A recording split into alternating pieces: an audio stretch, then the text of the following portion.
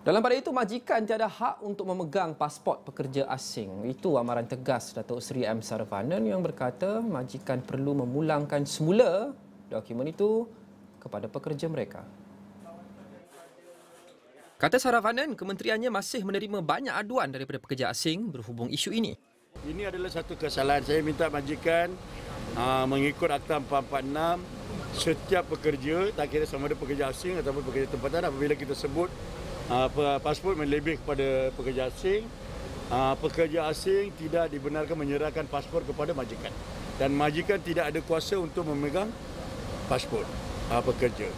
Uh, mengikut Akta 446, setiap pekerja asing perlu dibekalkan dengan satu almari berkunci. Maka dalam keadaan ini kita terima banyak aduan uh, majikan uh, memegang ataupun tidak mengembalikan pasport kepada pekerja.